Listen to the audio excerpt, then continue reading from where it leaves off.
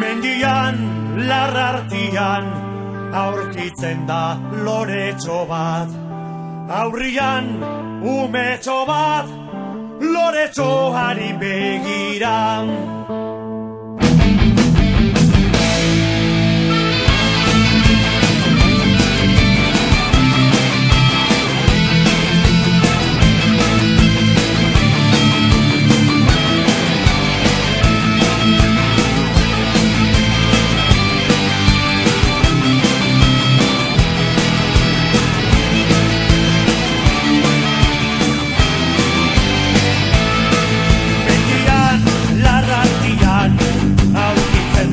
flores. Eh.